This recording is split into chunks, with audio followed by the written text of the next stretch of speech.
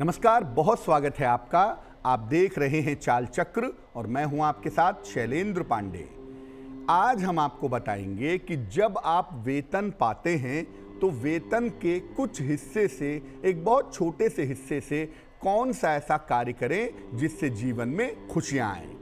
यानी वेतन पाने पर उसके कुछ हिस्से से कोई शुभ कार्य, कोई मंगल कार्य करना चाहिए ताकि वेतन निरंतर मिलता रहे और जीवन की मुश्किलें दूर होती रहें। चाल चक्र में क्या खास है? चलिए बताते हैं आप। चाल चक्र में आज बात करेंगे कि वेतन पाने पर उसके कुछ हिस्से से, पहले हिस्से से क्या करें? कुछ हिस्सा कहाँ खर्च करें? एक दान करेंगे, छोटा सा दान करेंगे हर महीने, इससे आपको महापुण्य मिलेगा। और छोटा सा दान अगर आप करते हैं हर महीने तो आपकी तमाम मुश्किलें दूर हो जाएँगी, तमाम समस्याएँ स्वाहा हो जाएँगी। सबसे पहले जानते हैं कि अगर आपकी राशि मेष राशि है और आप वेतन पाते हैं तो वेतन मिलने पर उसके कुछ हिस्से से क्या करेंगे? मेष राशि वाले जब वेतन पाते हैं तो उसके कुछ हिस्से से निर्धन और ज़रूरतमंद लोगों को खाने पीने की चीज़ का दान करिए। बिस्कुट, ब्रेड, कुछ भी, चावल, दाल, खाने पीने की चीज़ों का जितना सामर्थ्य हो। अब ये नहीं कि दस हज़ार का वेतन पा रहे हैं तो नौ हज़ार दान कर रहे हैं। नहीं, उसका एक हिस्सा, सौ रुपए, दो सौ रुपए, उसके एक हिस्से से आप खाने पीने की चीज़ का दान करेंगे। दान में उड़द की दाल की बनी हुई वस्तुएँ आपको ज़रूर देनी चाहिए, या आप चाहें तो उड़द की दाल भी एक खाद्य पदार्थ ही है, उसको दान कर सकते हैं। इससे बेनिफिट क्या होगा? इससे फ़ायदा होगा कि आपके ऑफ़िस में तनाव कम होगा, और आप विभिन्न तरह की दुर्घटनाओं से हमेशा सुरक्षित रहेंगे, हमेशा बचे रहेंगे। वृक्ष राशि। जब आपको वेतन मिलता है तो उसके कुछ हिस्से से फल खरीदें। जब भी आपको सैलरी मिली, वेतन मिला, उसके कुछ हिस्से से फल खरीदिए खास तौर से केला और सेब खरीदिए, और इन दोनों ही फलों को मरीजों में बांटें या गाय को खिलाएँ, या किसी निर्धन व्यक्ति को दे दें। यानी आपको अपने सैलरी के कुछ हिस्से से फल खरीदना है और इसको मरीजों में, गरीबों में बांटना है या गाय को खिलाना है। ऐसा करने से नौकरी मिलने की बाधा दूर होगी, क्योंकि अक्सर आपको नौकरी मिलने में दिक्कतें परेशान करती हैं। और स्वास्थ्य की आपकी रक्षा हो पाएगी, स्वास्थ्य आपका बेहतर रह पाएगा। मिथुन राशि। जब आपको वेतन मिलता है, उसके कुछ हिस्से से वस्त्र और सौंदर्य प्रसाधन खरीदिए, कपड़े खरीदिए कॉस्मेटिक्स खरीदिए परफ्यूम खरीदिए, और इसे किसी सौभाग्यवती स्त्री को दे दें।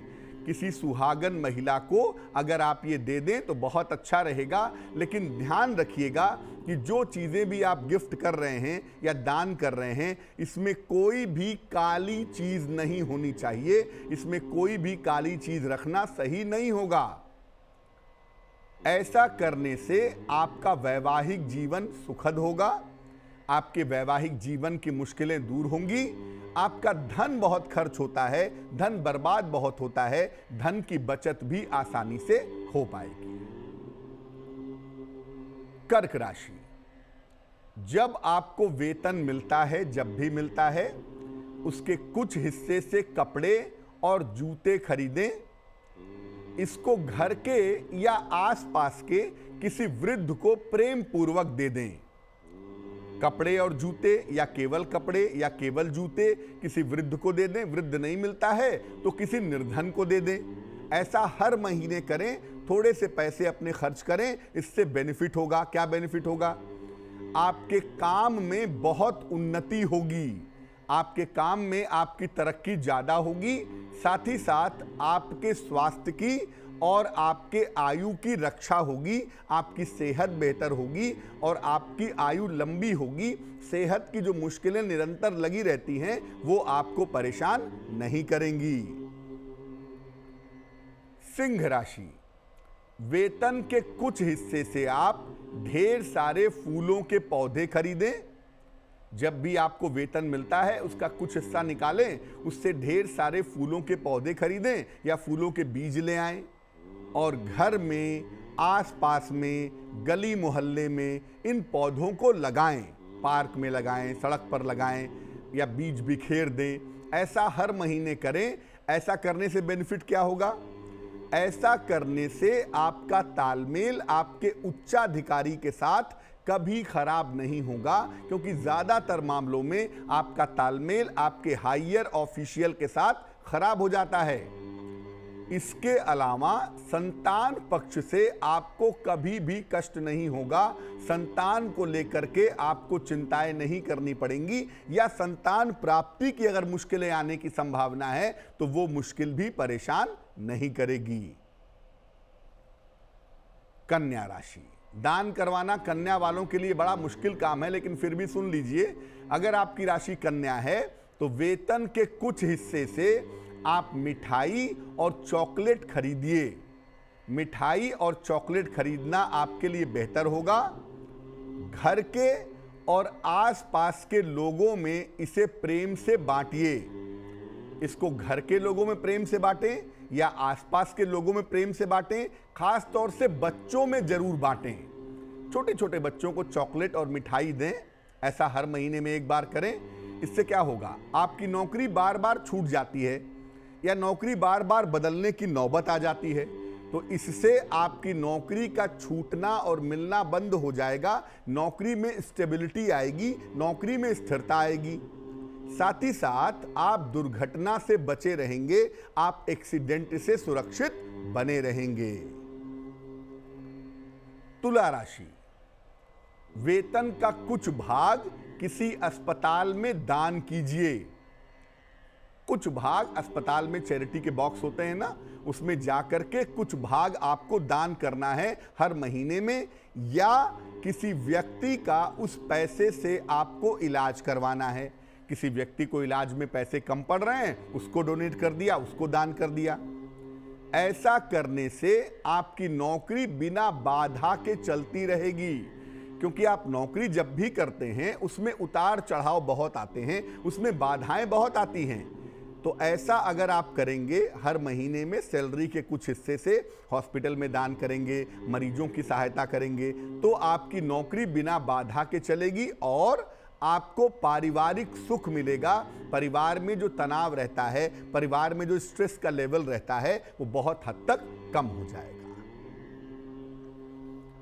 वृश्चिक राशि। वेतन के कुछ हिस्से से आप लोगों के पानी पीने की व्यवस्था कीजिए। अपने वेतन का कुछ हिस्सा खर्च करिए, पानी के जार खरीद लीजिए, या पानी का एक पक्का स्रोत बनवा दीजिए, एक जगह प्याऊ बनवा दीजिए, या मटके में पानी भर के, पानी के घड़े जगह जगह रखवाते रहिए हर महीने में।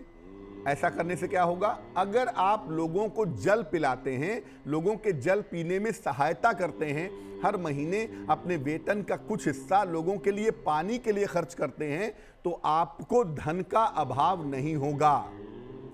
साथ ही साथ आपकी संपत्ति की जो समस्या है, आपकी संपत्ति की जो प्रॉब्लम है, वो भी निश्चित रूप से दूर हो जाएगी, वो भी निश्चित रूप से दूर बनी रहेगी।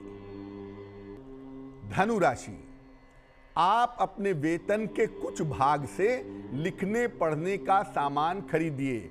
कॉपी खरीदिए, किताब खरीदिए, पेन खरीदिए, शार्पनर, पेंसिल, जो लिखने, पढ़ने की चीज़ें हैं, ये आप खरीदिए और इसको ज़रूरतमंद बच्चों में बांट दीजिए।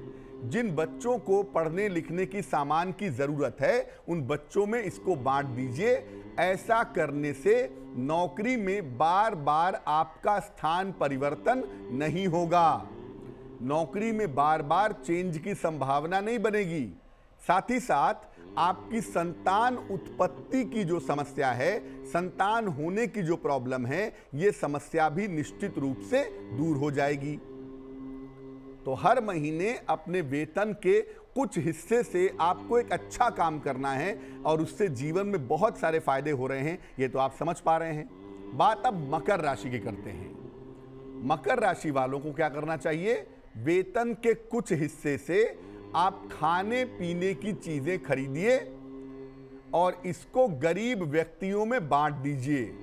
वेतन के कुछ हिस्से से खाने पीने की चीज़ें हैं। चावल है, दाल है, सब्ज़ी है, आटा है, नमक है या ब्रेड है, बिस्किट है, बटर है, जो भी खाने पीने की चीज़ें हैं, ये खरीदिए और इसको गरीब लोगों में बांट दीजिए। ऐसा अगर आप सोमवार को करें तो ज़्यादा उत्तम होगा, ज़्यादा बढ़िया रहेगा। यानी जब भी आप वेतन पाएँ तो उसके बाद उसके कुछ हिस्से से सोमवार को गरीबों को खाने पीने की चीज़ें बांटें। ऐसा करने से आपके खर्चे नियंत्रित होंगे और आप मनचाही नौकरी कर सकेंगे। नौकरी में किसी भी तरह की बाधा, किसी भी तरह की समस्या परेशान नहीं करेगी।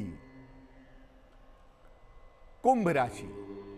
वेतन का कुछ भाग आपको इस्तेमाल करना है लोगों के मुफ़्त इलाज पर। यानी जिसको पैसे की ज़रूरत है अपना इलाज करवाने के लिए, उसमें आप उसको जितना भी आपसे संभव हो, आप पैसा देकर के सहायता कर सकते हैं। आप चाहें तो दवाइयाँ भी बांट सकते हैं, दवाइयाँ बांटना भी आपके लिए बेहतर होगा। ऐसा करने से आपका स्वास्थ्य उत्तम होगा। साथ ही साथ आपको धन का अभाव नहीं होगा। यानी अगर आपको धन का अभाव रहता है, सेहत की मुश्किलें परेशान करती हैं तो अपने वेतन के कुछ हिस्से से आप लोगों की सहायता करिए, उनके बीमारी के इलाज में या दवाइयाँ बांटिए तो आपके लिए बहुत सुंदर होगा। मीन राशि। वेतन के कुछ हिस्से से आप पशुओं के चारे और पक्षियों के दाने पानी की व्यवस्था कीजिए। यानी जब भी वेतन पाते हैं, उसके कुछ हिस्से से पक्षियों के लिए दाना खरीद लिया, पशुओं के लिए चारा खरीद लिया और उनको अपने हाथ से खिलाने की व्यवस्था की, ऐसा हर महीने करते जाइए। ऐसा करने से आपका व्यवहार बहुत अच्छा रहेगा, आपका व्यवहार सदैव उत्तम रहेगा। साथ ही साथ आपके सहकर्मियों से आपका वाद विवाद नहीं होगा। यानी आपका स्वास्थ्य अच्छा आपका मन अच्छा आपका स्वभाव अच्छा और ऑफ़िस में कलीग के साथ, सहकर्मियों के साथ आपका वाद विवाद नहीं होगा, ऐसी संभावना बन जाएगी। तो याद रखिए कि हर धर्म में और तकरीबन हर परंपरा में ऐसा कहा गया है कि जो आपकी अर्निंग होती है, जो आप आय होती है, पैसे कमाते हैं, उसका कुछ हिस्सा दान करना चाहिए और अगर ये दान करते हैं तो आपकी अर्निंग में, आपकी आय में बढ़ोतरी होती है और जीवन की बहुत सारी मुश्किलें भी इससे निपट जाती हैं। तो ऐसा मत करें कि पूरी पूरी सैलरी सिर्फ़ अपने ऊपर या अपने लोगों के ऊपर खर्च करें। जो भी सैलरी पाएँ, आप दस हज़ार पाते हैं तो सौ रुपया, दो सौ रुपया, जितना आप आराम से निकाल सकें, उतना पैसा निकाल करके लोगों की सहायता करें, दान करें, उस पैसे को अच्छे कार्य में इस्तेमाल करें। निश्चित रूप से आपको लाभ होगा। आप देखेंगे कि आपका वेतन भी बढ़ेगा, आपकी तरक्की भी होगी और जीवन की बहुत सारी जानी अनजानी बाधाओं से आप बचे रहेंगे।